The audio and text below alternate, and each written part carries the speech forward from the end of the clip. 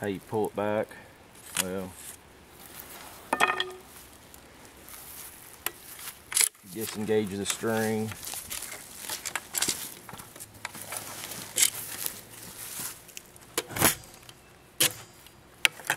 Hook it into here. That's the anti-dry fire mechanism. You hook it onto there. Crank it back.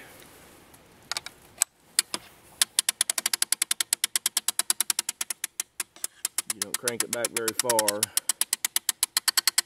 You go ahead and put the arrow in.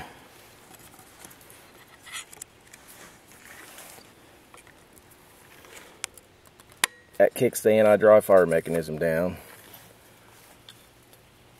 And the string angle is pretty sharp, so if there's any gap in between there, it'll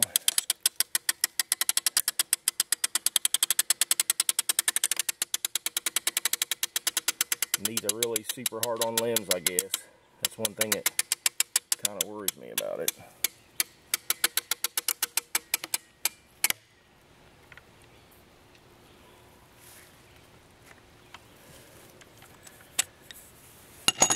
Just put that there. Shoot it again. Like I said, it's not sighted in or anything. Just playing around with it right now.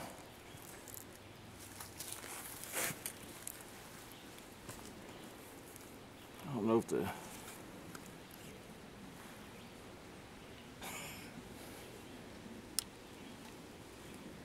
scope's cocked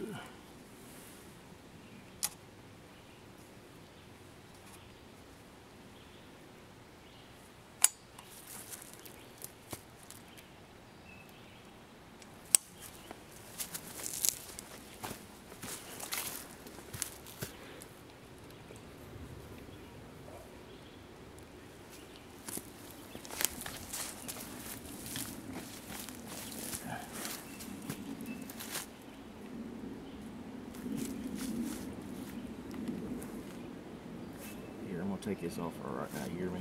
Yeah.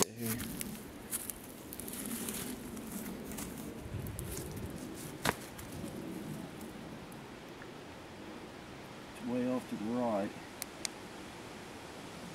So much I might have to shim it some.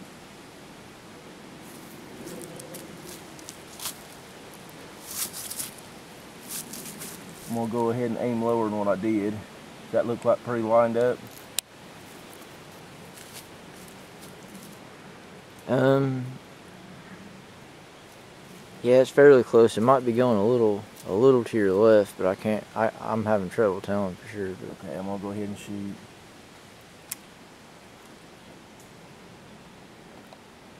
It's quiet.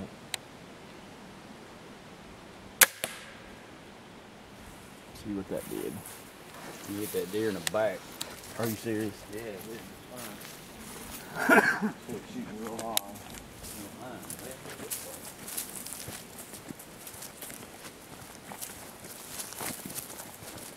So actually, it ain't shooting up. Because I'm leaning way over here. But heck, when you look down, when you look down the arrow, it looks like it's going to the left, don't it? yeah,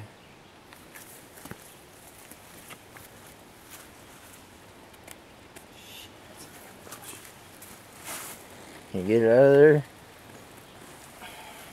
You try it. Are you videoing with this under them too? Man, it freaking stuck out. You ever shot man? Do not break the arrow. you might have to pull the target, the deer out of the ground. It's what I've had to do before. Once you get them to slide, it's good, but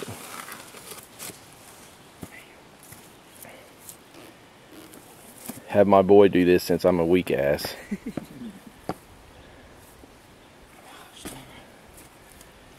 No lack of penetration here. I don't even know. I don't know if I can get it. Well, here, go ahead and uh, I'll get it. Come over here and hold the camera. I don't think I was holding yours very good.